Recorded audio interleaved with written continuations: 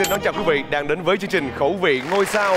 Chương trình ngày hôm nay được thực hiện bởi Đài truyền hình Thành phố Hồ Chí Minh phối hợp cùng công ty truyền thông Bi và được phát sóng vào lúc 17 giờ 50 phút chủ nhật hàng tuần trên kênh HTV7. Khi đến với Khẩu vị ngôi sao, chúng ta sẽ được lắng nghe rất nhiều câu chuyện thú vị về việc ăn uống, dinh dưỡng của các nghệ sĩ tham gia chương trình, đặc biệt là những kỷ niệm của họ về từng món ăn. Bên cạnh đó là hai món quà đến từ hai fan hâm mộ ngày hôm nay dành tặng cho thần tượng của mình được chế biến bởi tài năng của họ qua những nguyên vật liệu mà chúng tôi đã chuẩn bị. Không biết là những món ăn nào đang sẵn sàng để phục vụ cho thực khách đặc biệt ngày hôm nay. Đó chính là diễn viên nghệ sĩ Lê Huỳnh.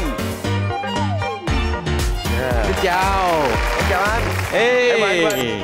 Khỏe không anh? Hai Hoàng rapper Dạ. Lúc nào anh Huỳnh cũng à, phong độ hết ha.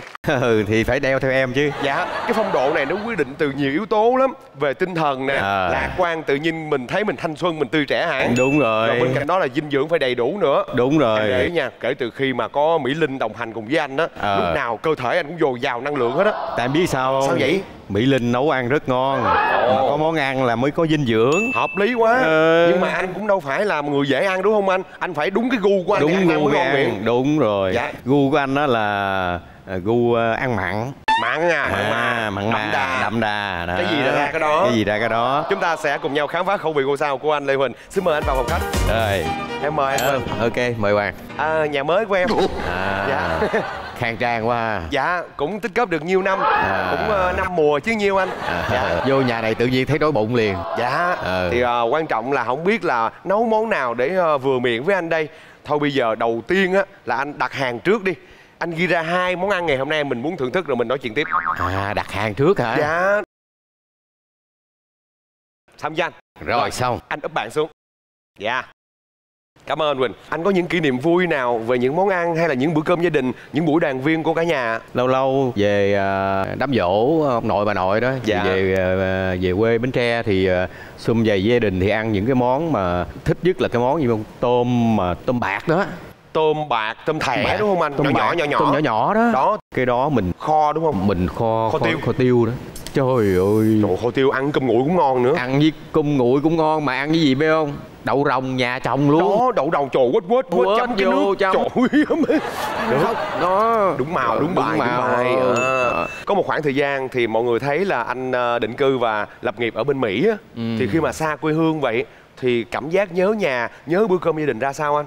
Hồi mới qua đó, Hoàng biết sao không? Trời ơi, nhớ những cái món ở Việt Nam vô cùng luôn Dạ. Mà nhớ nhất là mấy cái món thịt kho, hồng vịt Dạ Ở bên đó lúc đó đâu có đâu Dạ. Trời thèm mà chảy nước mắt luôn Bây giờ, Dạ. vì nhu cầu của cái người châu Á người ta qua bên ờ, Mỹ người ta sống cũng nhiều Dạ. Cho nên là những cái thực phẩm mà châu Á đó nhập vô cũng nhiều lắm Chợ Việt Nam mình đầy hết Nguyên liệu đồ ăn có thể ngon Nhưng mà người xưa cảnh cũ Nó Đúng vẫn là rồi. quan trọng hơn Thì Nó cái đó đó. cảm xúc của mình nhiều hơn đúng không anh? Đúng rồi Dạ, như vậy thì à, những lúc mà đi diễn xa có bao giờ anh phải ăn cơm đoàn rồi nhớ cơm vợ nấu nhà không anh? ăn riết rồi quen luôn nhiều khi ở nhà ăn cơm vợ nấu á, ngon Dạ. nhưng mà lên cái gặp anh em trong đoàn á rồi quay Vui. phim hay vui quá ăn À. ngon hơn luôn Dạ. ăn còn dữ hơn là ở nhà nữa Như vậy là mỗi nơi đều có niềm vui riêng. Mình Ừ. tìm cái sự ngon á nằm ở bối cảnh, ở những người thân, những người đồng nghiệp nữa. đúng rồi Dạ, cảm ơn anh. Như vậy là dường như anh khá là dễ ăn.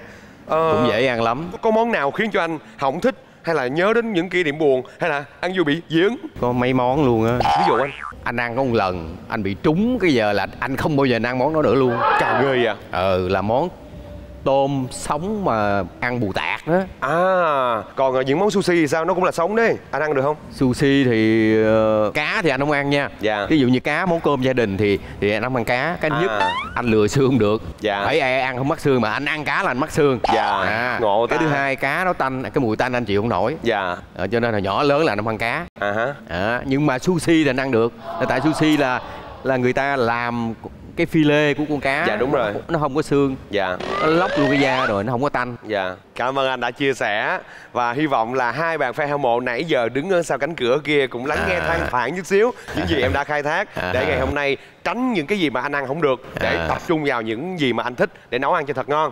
Và bây giờ sẽ mời anh Lê Huỳnh cùng với quý vị khán giả chào đón hai bạn fan hâm mộ ngày hôm nay đó chính là Sê Nguyễn và anh Thi. Chào hai bạn. Rồi mời hai bạn ngồi Ê, ha. chào tụi em bây giờ mình giới thiệu đôi nét về mình nào mời bạn Dạ, em tên là Anh Thi, hiện à, đang là diễn viên tự do. ồ À. diễn viên hèn chi gương mặt rất là sáng ha à, còn bạn thì sao nào Dạ, em xin chào anh Huỳnh, em xin chào anh Hoàng Em là C Nguyễn, cũng hiện tại đang là diễn viên tự do Thật sự thì ờ, về nấu ăn á, thì em cũng biết chút chút Nhưng mà vì hâm mộ anh Huỳnh nên em tới đây à. Chứ cũng phải là Thank không, không, em. không phải là nấu ngon đâu Nói chung là biết nấu thôi à. Dạ. Dạ anh cũng sẽ cố gắng hỗ trợ cho hai bạn để có thể à, vượt qua cái thử thách. Bởi vì nấu nướng trong gian bếp nhà anh nó khó lắm em không phải đứng bình thường mà nó phải lăn lê bò trường này nọ ghê gớm lắm. Đầu tiên sẽ là thử thách nhẹ nhẹ về kiến thức. Xin mời hai bạn cầm bạn lên. Dạ. Chúng ta sẽ trải qua ba cái thử thách nho nhỏ để lật ra ba ẩn số với ba con số sau đây. Một hai ba hen trong ba con số này sẽ có một cái huy hiệu tầng bếp để các bạn tận dụng điều đó để nhờ quyền trợ giúp của anh Lê Huỳnh bất cứ lúc nào mình muốn. Và bây giờ sẽ là câu hỏi đầu tiên. Xin mời hai bạn cùng anh Lê Huỳnh nhìn hình ảnh sau đây. Dạ Đấy. Rồi câu hỏi như sau. Đây là cây gì? Dạ Ừ, câu hỏi dài ghê. Hoa, Ừ, hoa gì? Em muốn ghi sao ghi? Bông gì? Cây gì hạt? Rồi, xin mời đáp án 3, 2, 1 mời hai bạn. Dạ đây Trời đất ơi, cả hai chị em chắc có vẻ hòa hợp với nhau chứ ở chung nhà ha. ừ. C á, thì trả lời là đây là cây hoa tím. À đúng rồi, nó tím thiệt. Dạ Ờ, còn à, bạn anh Thi thì à, hơi tím rìm đi em chứ rìm nữa Rồi đúng là nó màu tím thật Nhưng tên thật của nó là cây hạt é Cây hạt é hay còn gọi là cây húng quế Được trồng ở rất nhiều vườn quê Và là nguyên liệu nấu ăn quen thuộc của các nhà nội trợ Cây hạt é không chỉ dùng lá làm nguyên liệu Mà cả hạt của nó còn có rất nhiều công dụng hữu ích đối với sức khỏe của con người Hạt é đã được dùng làm nguyên liệu sản xuất khá phổ biến trong các loại nước uống giải khát vào mùa nắng nóng giống như là nước nha đam hạt é, hạt é đường phèn, xương sáo hạt é. Như vậy là câu này không ai trả lời đúng nên quyền lật ô số sẽ thuộc về anh Lê Huỳnh. Xin mời anh. thôi anh ờ, chọn số 3 đi Số 3, xin mời ô số 3. Từ khóa bên trong ô số 3 đó là cá là của biển của sông, không phải của anh. tại vì anh ăn cá không được cho nên cá nó thuộc về sông biển chứ không phải của anh Dạ không phải thế giới trong À, cái thế giới ẩm thực của thế anh. giới ẩm thực của anh Ủa vậy thí dụ những món ờ, được chế biến từ cá giống như nước mắm thì sao? Anh ăn được nước mắm không? nước mắm thì ok à, À. cái đó là hương vị quê hương rồi Dạ. không có thiếu được trong cái cái bữa cơm của mình Dạ. À biết gu anh ha, biết gu anh rồi ha. À. Tại nữa nấu ăn đừng bỏ con cá vô nha. Dạ Ngay sau đây sẽ là đề bài thứ hai, xin mời hai bạn lắng nghe. Món bún sứa là món ăn đặc sản của vùng nào sau đây? A. Nha Trang B. Phan Thiết và C. Phú Quốc À, ba thành phố biển hết nha Cẩn thận nha, Nha Trang, Phan Thiết và Phú Quốc 3, 2, 1 Xin mời Đáp án là anh Thi trả lời là Phan Thiết. Phan Thiết. Em không biết, em đoán đại. Đáp án gì mà dài dòng quá à. Dài quá anh. Rồi em chọn A là gì? Dạ Nha Trang Đáp à án chính xác là Nha Trang. Trời ơi. Em thông minh quá. Đáng đại, thông minh quá. Xui thôi. Chúc mừng C. Sự may mắn đã mang lại cho em cái quyền ưu tiên là lật ô số tiếp theo. Em chọn số mấy? Dạ ba rồi thì đến hai ạ. À, đếm ngược đi. Dạ. Số 2, xin mời số 2 Một lần và mãi mãi. Anh nhớ đó có một lần là anh đi ăn ờ, ở ngoài một cái nhà hàng ngon lắm. Dạ vâng. Thì vô đó anh mới ờ, kêu một dĩa tôm tôm sú sống. Đó nữa rồi. Tôm sú sống chấm bù tạt Đó. Anh mê cái đó lắm. Dạ. cái anh ăn vừa đem ra cái anh gấp anh ăn liền. Tê tê. Vừa ờ, vừa xong cái anh tê luôn tê môi luôn. Mặt xanh lè môi tím ngắt. Trúng thật, trúng thật. Trúng thật cái anh mới đi lên xe taxi. Chở thẳng vô bệnh viện. Dạ. đúng y chang vô đó anh ta nói bị trúng thực Dạ, nguy hiểm quá uống thuốc về vô nước biển nguyên đêm về mới hết. Như vậy là với cái kỷ niệm đó giúp cho chúng ta biết được là anh không ăn đồ sống được. Không ăn đồ sống nữa. Dạ, chúc mừng C nha, đang Dạ. dẫn trước một không. Và bây giờ sẽ là thử thách thứ ba. Thử thách này mình không cần trả lời câu hỏi nhưng mà nó cam go hơn rất nhiều. Đó là gì? Quý vị đừng chuyển kênh, chúng tôi sẽ quay trở lại ngay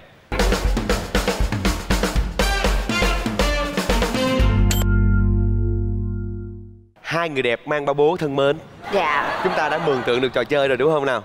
Với thử thách này thì ai đi bao bố khéo léo và nhanh chóng đem được về cả ba cái lá cờ này về đích là coi như là giành chiến thắng. Mỗi lượt di chuyển chỉ được lấy một lá cờ thôi, như vậy chúng ta sẽ có ba lượt di chuyển nha. Anh Huỳnh, anh đếm đi. Để em chuẩn bị chưa Dạ Dạ rồi rồi. bắt đầu nha Dạ một hai ba Bắt đầu. Trời ghê vậy? Ôi, ôi. Thôi, nhanh vậy? Ủa, Thỏ con, dạo phố Dạo phố Lẹ hả? lên, đi lẹ lên. Cái gì vậy? Trời, đi đi giao giao hủ nữa. Nè, dư năng lượng quá hen. Thời gian không có nhiều mà. Đi lẹ nhanh nhanh để đó. Chạy tiếp, tiếp, tiếp ủa vậy ba bốn mà. Trời giống như đi chợ vậy trời. Bé kia là rùa bên này là thỏ. À. đừng chủ quan nha. Bắt đầu là nhìn rùa rùa À, nhìn rùa rùa, vậy có gì thắng nó lẹ gì lên gì? Lẹ lên. nè trời ơi đó gọn gàng hết sức không ủa đi đâu vậy? ơi. Bọc binh nhà quần binh mới chịu. Đó. Dễ thương. Rồi chúc mừng hai bạn. Để coi chị chị em em tồn tại được bao nhiêu lâu hen. Nhưng mà với phần thi vừa rồi là hai bạn gần như là tương đương sức với nhau. Nhưng mà anh thi thì sớm hơn một nhịp một tí. Nên anh thi bạn giành chiến thắng. Chúc mừng bạn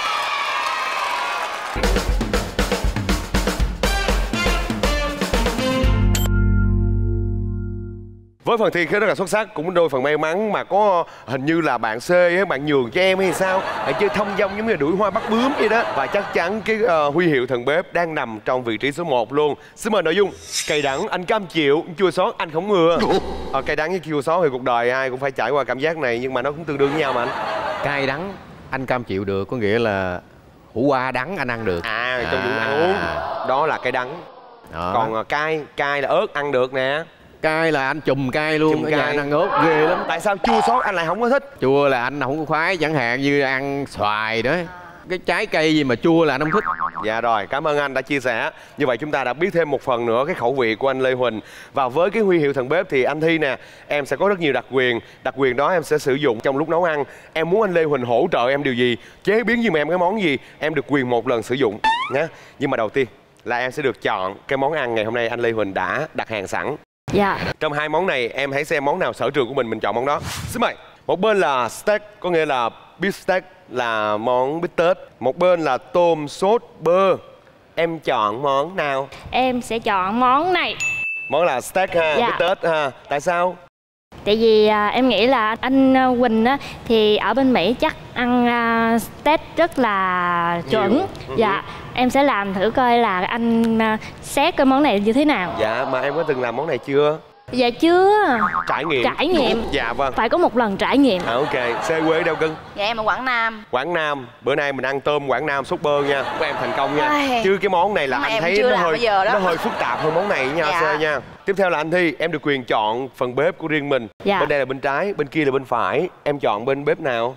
Bên phải đi Bên phải đi. Rồi, bên phải. Như vậy, bếp còn lại sẽ là thuộc về C Nguyễn. Chúc hai bạn thành công nha. Và bây giờ xin mời tất cả mọi người cùng quý vị khán giả chúng ta vào bếp thôi.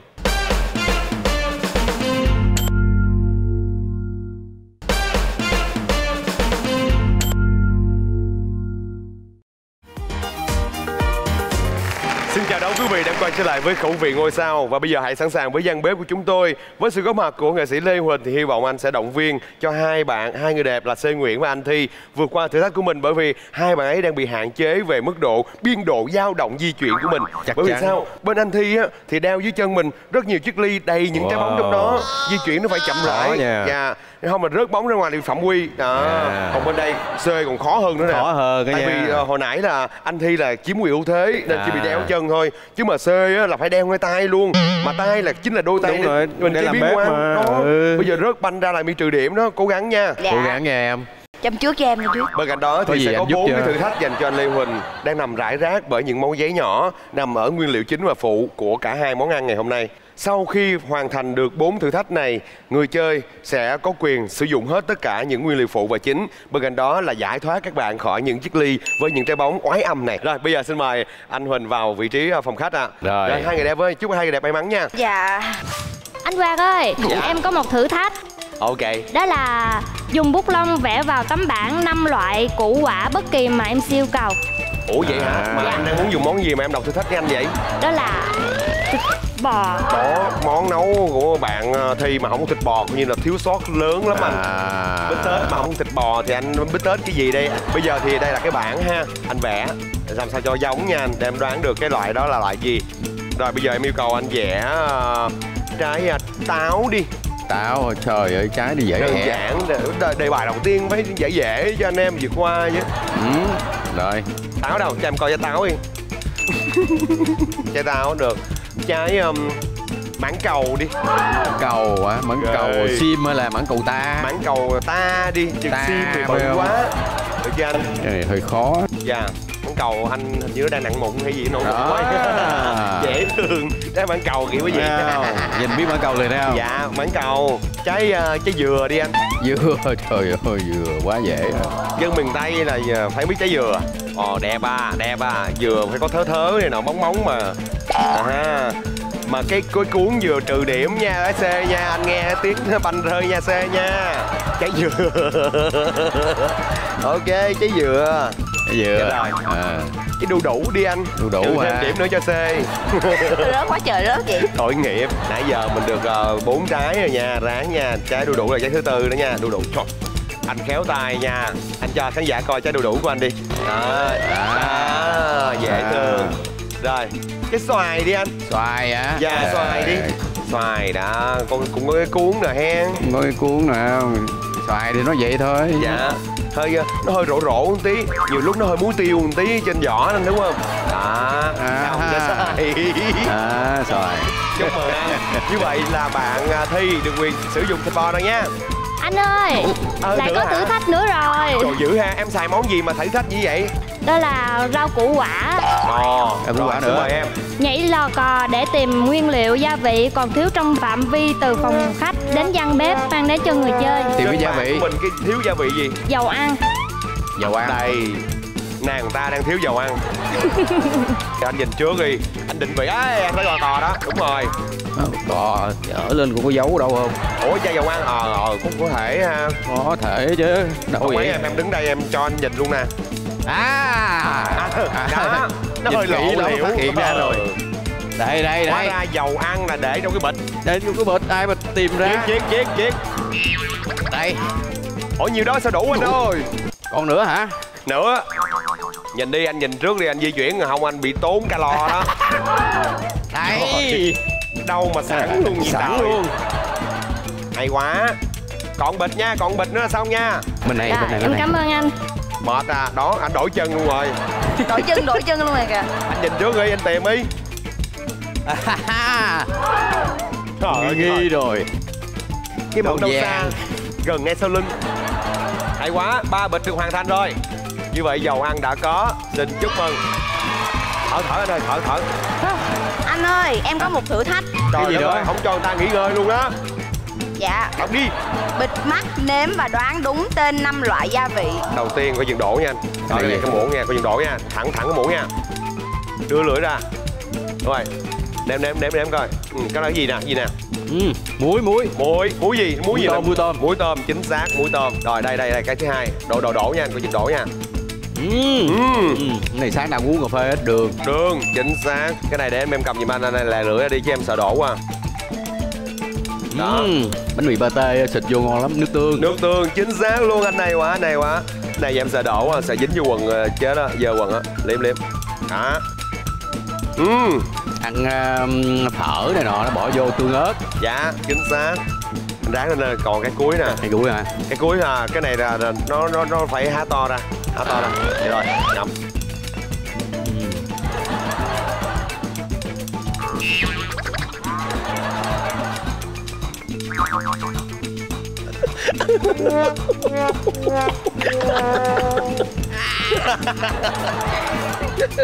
anh Quỳnh ơi! Do anh đụng cái lửa vô, anh còn không biết nó là cái gì được. Bắt buộc là anh phải trải nghiệm một miếng. Rồi anh thấy lại anh sang đi. Thương anh à Thương mà à em ác của hoàng ơi Món gì vậy anh? Món ăn với sushi. Là gì? Cá sống bù tả. Thương quá. Trời ơi. Trời ơi một, một dự thi cảm động rớt nước mắt Không nhưng mà đó, anh nói là anh dị ứng với uh, hàng tôm sống chứ anh đâu dị ứng với wasabi cay. Cà cay. Chua cay anh không chịu mà. Em xin tự bạc với anh.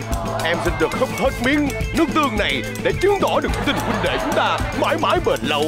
Để uống đây. Tiểu đệ làm như vậy hả Hãy thứ lỗi cho tiểu đệ. đừng ba tự tử à. Trời ơi tiểu đệ à.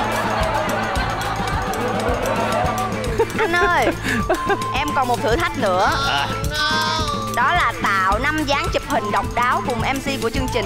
Trời ơi em bé có mặt mày anh bây giờ nè. Nói vậy mà kêu chụp hình tạo năm giá nào anh em chứng tỏ là mình là đàn ông bản lĩnh.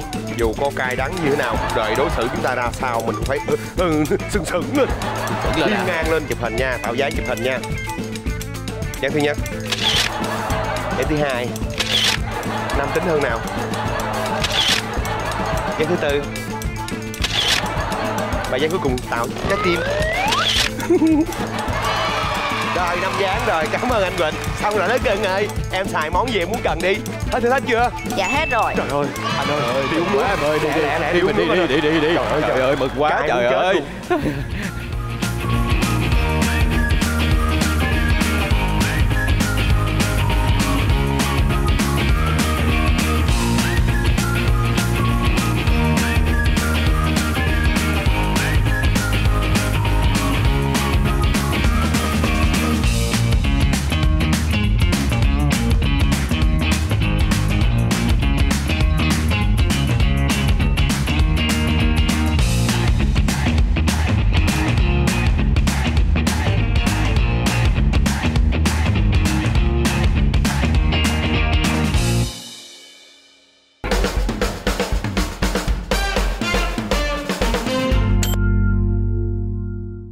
Đây, kính thưa quý vị, hai thành phẩm, hai siêu phẩm của hai người đẹp ngày hôm nay đã chế biến ra để dành tặng cho anh Lê Huỳnh. Chúc mừng anh với tình cảm của hai bạn đã dành cho mình. Một bên là bò bít tết, còn bên á là tôm súp bơ ha. Bây giờ hai món này nè, về ngoại hình anh có đánh giá gì không?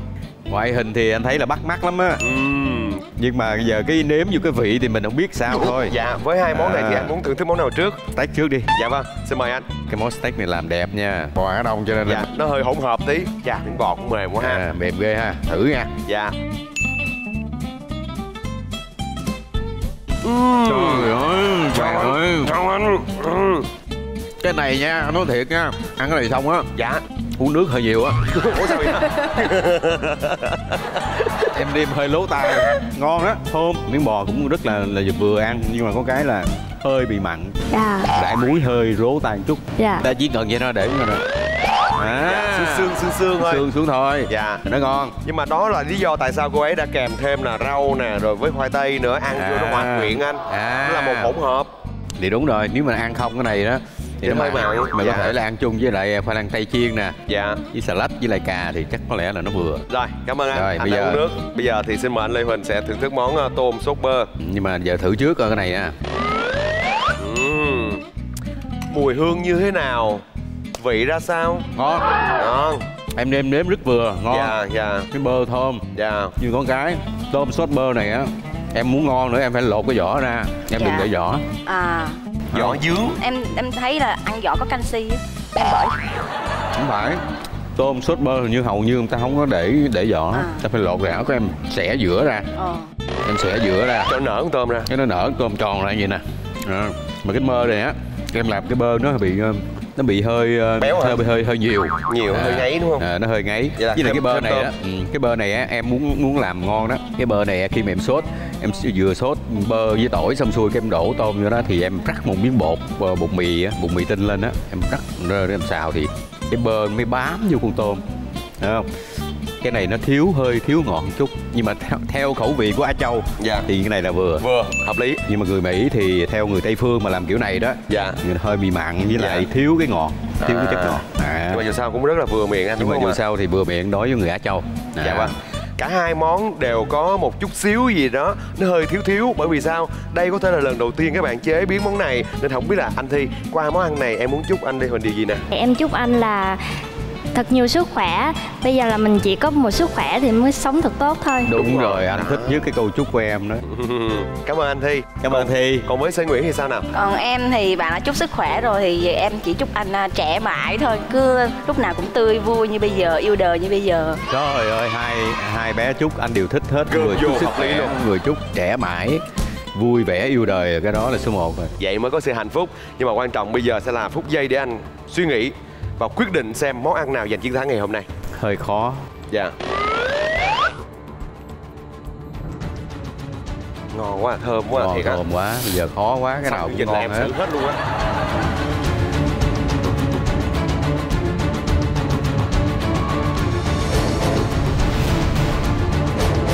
Anh thấy là anh nghiêng về phía món tôm uh, sốt bơ hơn. Tại vì cái khẩu vị của tôm sốt bơ nó khi mà nếm vô thì nó vừa. Ấn tượng hơn. Ấn tượng hơn. Không khỏi cần uống nước. Còn cái steak thì nó ngon nó thơm nhưng mà phải uống nước. uống miếng nước chưa dạ vâng. Xin cảm ơn anh. Như vậy món tôm súp bơ đã giúp cho Sê Nguyễn giành chiến thắng đặc biệt ngày hôm nay cùng với khẩu vị ngôi sao. Nào chúng ta nhận thưởng thôi.